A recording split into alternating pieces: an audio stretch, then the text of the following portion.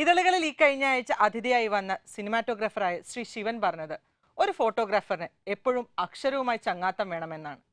അക്ഷര ലോകത്തെ ഒരു ഫോട്ടോഗ്രാഫറാണ് ഇന്ന് നമ്മളോടൊപ്പം ക്ലിക്ക് എന്ന പങ്ക്തിയിൽ ചേരുന്നത്. പ്രശസ്ത ഫോട്ടോ ജേർണലിസ്റ്റായ ശ്രീ പ്രസന്നൻ. അദ്ദേഹം നമ്മുടെ തിരുവനന്തപുരത്തെ എല്ലാവർക്കും ഏറെ സുപരിചിതനായ ഫോട്ടോ ജേർണലിസ്റ്റാണ്. പരിചയപ്പെടാം ഇന്നത്തെ ക്ലിക്കിലൂടെ അദ്ദേഹത്തിന്റെ ഫോട്ടോഗ്രാഫ്സിനെയും ന്യൂസ് വർത്തമാനങ്ങളെയും.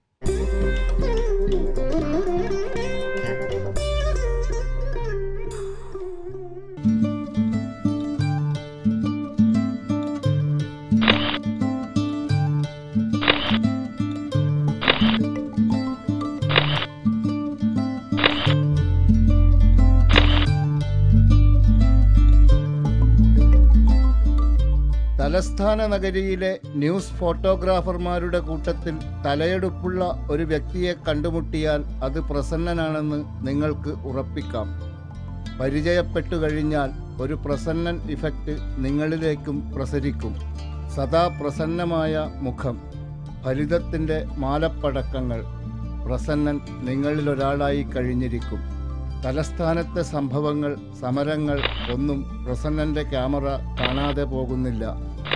ലാത്തിച്ചാർജോ കല്ലേറോ പാതയോരത്തെ കൗതുക ദൃശ്യങ്ങളോ മൃഗശാലയോ എന്തു പകർത്തിയാലും അതിലൊരു പ്രസന്നൻ ടച്ച് ഉണ്ടാകും കുട്ടിക്കാലം തൊട്ടേ ക്യാമറയായിരുന്നു കളിപ്പാട്ടം.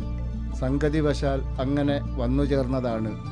പിന്നീടത് അറിഞ്ഞും അറിയാതെയും മുഖ്യ താല്പര്യമായി എന്റെ അച്ഛൻ മാത്രമാണ് ഗവൺമെന്റ് സർവീസിലൂടെ ജോലി ചെയ്യുന്നത്. ബാക്കി മുഴുവൻ അച്ഛന്റെ ബ്രദേഴ്സ് എല്ലാം വിദേശത്തും ഇതാണ് അപ്പോൾ അവർ അന്ന് മുതൽ ഈ ചെറിയ ക്യാമറകൾ കൊണ്ടുവരികയും അത് വെച്ചെടുക്കുകയും എനിക്ക് തോന്നുന്നു അന്നത്തെ ആദ്യത്തെ ക്ലിക്ക് ത്രീയിലൊക്കെ എടുക്കാൻ പറ്റിയിട്ടുണ്ട്. അപ്പോൾ അത് അന്ന് എടുത്തപ്പോൾ തന്നെ അത് ഒരു രസകരമായ അന്ന് വളരെ എക്സ്പെൻസീവ് ആയതുകൊണ്ട് നമ്മളത് വലിയ പ്രയാസപ്പെട്ടിട്ടാണെങ്കിലും പരമാവധി കിട്ടുന്ന പൈസ ഈ അന്നും ടൂർ പോവുക ഒന്നുമല്ല ഫിലിം വാങ്ങലായിരുന്നു. അത് അതിൽ നിന്ന് കിട്ടുന്ന ഒരു പടത്തിന്റെ ഒരു സംതൃപ്തി വളരെ ഇതായിരുന്നു. ആയിരത്തി തൊള്ളായിരത്തി തൊണ്ണൂറ്റി രണ്ടിൽ മംഗളം പത്രത്തിൽ ഫോട്ടോഗ്രാഫറായി ചേരുമ്പോഴേക്കും പ്രസന്നന്റെ കണ്ണും ക്യാമറയും തഴക്കം നേടിയിരുന്നു. തലസ്ഥാനത്ത് നടക്കുന്ന സംഭവങ്ങളുടെ ദൃക്സാക്ഷിയും ദൃശ്യസാക്ഷിയുമായി പ്രസന്നൻ മാറി. ഇ എം എസ് നമ്പൂതിരിപ്പാടിന്റെയും ഇ കെ നായനാരുടെയും വിയോഗത്തെ തുടർന്നുള്ള നിമിഷങ്ങൾ ക്യാമറയിൽ പകർത്തിയത് ഇപ്പോഴും പച്ചപിടിച്ചു നിൽക്കുന്ന ഓർമ്മ. എം എസിന്റെ മരണം അന്ന് വലിയ പരിപാടിയൊന്നും ഇല്ലാതെ വണ്ടി കൊണ്ട് സർവീസ് ചെയ്യാൻ കൊടുത്ത് അവർ അതിൽ വെള്ളം അടിച്ചു തുടങ്ങുമ്പോൾ അന്ന് പേജറാണ്. പേജറിൽ മെസ്സേജ് വന്നു. ഇ എം പോയി എന്ന്. എന്നിട്ട് ആ ചിത്രം എടുത്തിട്ട് രാത്രി ഒരു ടാക്സി പിടിച്ച് നേരെ കോട്ടയം ഓഫീസിൽ പോയി. അത് അവിടെ ഡെവലപ്പ് ചെയ്ത് പ്രിന്റ് ചെയ്ത് അടുത്ത ദിവസം അത് അതെല്ലാം ശരിക്കും മറക്കാൻ പറ്റാത്ത അനുഭവമായിരുന്നു. അതിനുശേഷം ഈ നയനാരുടെ മരണം കേരളം ഇത്രയും ഒരു മനുഷ്യനെ സ്നേഹിച്ചിരുന്നതിന്റെ ഈ ആ ചരിത്രത്തിന്റെയൊക്കെ ഭാഗമാകാൻ കഴിഞ്ഞു എന്നുള്ളത് വളരെ അഭിമാനത്തോടെ കാണേണ്ട സംഭവമാണ്. ഒരു പതിറ്റാണ്ട് മുമ്പെടുത്ത നടുക്കുന്ന ഒരു ഫോട്ടോഗ്രാഫിന്റെ ഓർമ്മ പ്രസന്നന് നടുക്കം മാറാത്ത ഓർമ്മയാണ്. അത് ഒരു ഇലക്ഷൻ സമയത്ത് സുർജിത്തായിരുന്നു അന്ന് സി പി എമ്മിന്റെ അഖിലേന്ത്യാ ജനറൽ സെക്രട്ടറി. പേട്ടയിൽ സുർജിത്ത് പ്രസംഗിക്കുന്ന ഒരു യോഗം കഴിഞ്ഞിട്ട് അന്ന് രാത്രി ഒരു സംഘടന ഉണ്ടാവുകയും അവിടെ ഒരു യുവാവിനെ ഒരു ഓപ്പോസിറ്റ് രാഷ്ട്രീയക്കാർ വെട്ടിക്കൊന്നു. വെട്ടിക്കൊന്ന് അത് കഴിഞ്ഞിട്ട് അയാളുടെ ബോഡിയൊക്കെ കൊണ്ടുപോയതിനു ശേഷം അന്ന് എന്റെ കൂടെ ഉണ്ടായിരുന്ന അന്ന് ഉദയൻ എന്ന് പറഞ്ഞിട്ടുള്ള അദ്ദേഹം ഏഷ്യാനെറ്റിന്റെ തന്നെ ഒരു സ്റ്റാഫായിരുന്നു മുമ്പ്. അദ്ദേഹം എന്നെ വിളിച്ച് പറഞ്ഞു ഒരു പട്ടി ഒരു കൈയുമായി പേട്ട ജംഗ്ഷനിലൂടെ പോകുന്നത് കണ്ടു. ഞാൻ ആദ്യം എന്നെ വെറുതെ കളിയാക്കി സാധാരണ ഇത്തരം വിളി വരും. ഞാൻ ശരിയാണ് എന്ന് പറഞ്ഞപ്പോൾ ഞാൻ വണ്ടി എടുത്ത് ഇവിടെ പോയി. ഒരു പട്ടിയെ ഒരു കൊണ്ടുപോയ സാധനത്തിനെ കണ്ടുപിടിക്കുക എന്ന് പറഞ്ഞാൽ അത്ര എളുപ്പമല്ല. പക്ഷെ ഞാനിങ്ങനെ ബൈക്കിൽ ഇങ്ങനെ കറങ്ങി കറങ്ങി ഒരുപാട് പേരോട് ചോദിച്ചു കണ്ടോണ്ട് അപ്പോൾ ഒരു മനുഷ്യൻ പറഞ്ഞു ഒരു പട്ടി എന്തോ ഒരു സാധനമായിട്ട് ഈ മതിൽ ചാടി പോകുന്നത് കണ്ടു. പറഞ്ഞു ഒരു വലിയൊരു ആൾപ്പാർപ്പില്ലാത്ത വീടിന്റെ പിന്നിലെ ഒരു ചെറിയ കുശിനിയിൽ പട്ടി പ്രസവിച്ച് കിടക്കുകയായിരുന്നു. ഈ പട്ടി കുഞ്ഞുങ്ങൾക്കുള്ള ആഹാരമായിട്ടാണ് ഈ മനുഷ്യന്റെ കൈ കൊണ്ടിട്ടിരിക്കുന്നത്.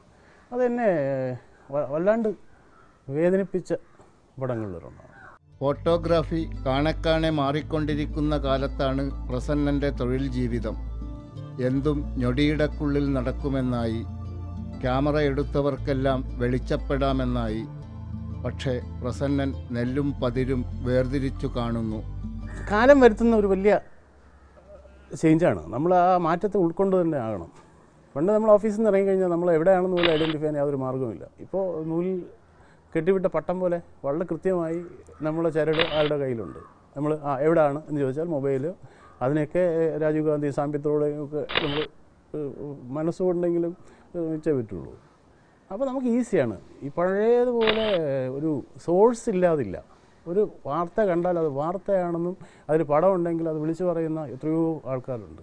പക്ഷെ നമ്മൾ ഏറ്റവും കൂടുതൽ ചിലപ്പോൾ ബുദ്ധിമുട്ട് തോന്നുന്നത് ഒരു മരണം പോലും മൊബൈലിൽ പകർത്തുന്ന വഴിയാത്രക്കാരൻ. അവന് അതുകൊണ്ട് യാതൊരു ഗുണവുമില്ല. മൂന്ന് പേരെ കാണിക്കുക ആർക്കെങ്കിലും ഒരു എസ് എം എസ് ഇടുകയോ ചെയ്തിട്ട് അവന് വലിച്ചു കളയും. അത് ഏറ്റവും സങ്കടം തോന്നിയൊരു പടമാണ്. ആ ഇത് നമ്മുടെ ഗ്യാസ് പൊട്ടിയിട്ട് ഒരു ജീവൻ കൊണ്ടൊരു മനുഷ്യൻ ഓടുമ്പോൾ അതിന് മൊബൈലിലെടുത്തിട്ട് അതിനെ ഫേസ്ബുക്കിലിട്ട് അതിനെന്ത് ആസ്വാദനമാണ്? എനിക്കത് അത് അത്തരം സാധനങ്ങളോടൊക്കെ നമ്മൾ അതിനൊക്കെ ഒരു കർശനമായ ഒരു നിയന്ത്രണം കൊണ്ടുവരേണ്ടത് പ്രസന്നൻ പുറപ്പെടുകയാണ്. കണ്ണും ക്യാമറ കണ്ണും തുറന്ന് പ്രസന്നൻ പുറപ്പെടുകയാണ്.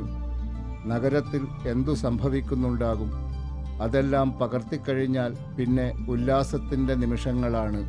ഞാൻ മീശ ഒരു സബ്ജക്റ്റായി ഒരു എക്സിബിഷൻ ഞാൻ കുറേ പടം ശേഖരിച്ചിട്ടുണ്ട് വ്യത്യസ്തമായ ഡിഫറെന്റ് ആയിട്ടുള്ളൊരു മീശ. അപ്പോൾ അതിനുവേണ്ടി ഒരു യാത്ര വയ്ക്കണം. എല്ലാം എല്ലാ സബ്ജക്റ്റും പ്രയാസമാണെങ്കിലും ഇത് എനിക്ക് ഇഷ്ടമുള്ള സബ്ജക്റ്റാണ് എല്ലാവരും സീരിയസ് ചെയ്യുമ്പോൾ ഒരു അത്ര സീരിയസ് അല്ലാത്ത സീരിയസ് അല്ല എന്ന് പറഞ്ഞാൽ ഒരു പതിനെട്ട് വയസ്സായ ഒരു പെൺകുട്ടിക്ക് നല്ല മീശയുണ്ടെങ്കിൽ ഉള്ള മനസ്സിനെ അത് ഏറ്റവും കൂടുതൽ വേദനിപ്പിക്കുന്ന ഒരു സാധനമായിരിക്കില്ലേ? റിട്ടയറായി നിൽക്കുന്ന ഒരു പട്ടാളക്കാരൻ എല്ലാ ദിവസവും അതിനെ പരിപാലിക്കാൻ വേണ്ടി മുട്ടയൊക്കെ വെച്ച് അതിനെ ഒരു ചില അപ്പോൾ അതിനെ ഒന്ന് നോക്കണമെന്ന് എനിക്കുണ്ട്. ഞാൻ നോക്കും